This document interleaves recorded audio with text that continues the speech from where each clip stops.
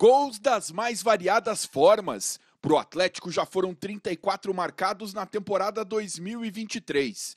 Número que ajuda o time a chegar na semifinal como líder absoluto e favorito destacado ao título do Paranaense. Independente de quem entrar, se for quarteto, se for trio, se for dupla, se for os 11, eles estão preparados. A campanha até agora do Atlético no Campeonato Paranaense mostrou para a torcida que o Furacão tem quatro jogadores ofensivos muito decisivos. Seria o novo quadrado mágico atleticano?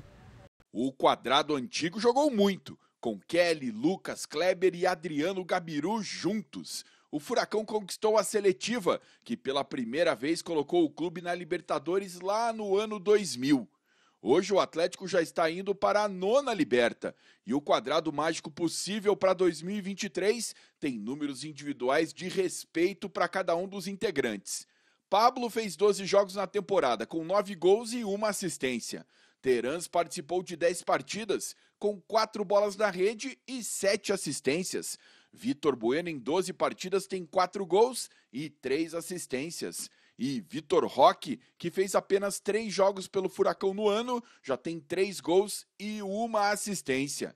Eu não me atenho só nesse quarteto que tu falou, sabe? Eu, eu como treinador e como gestor de grupo, eu tenho que me, eu tenho que me, quando eu for me expressar publicamente, eu tenho que valorizar todos os jogadores.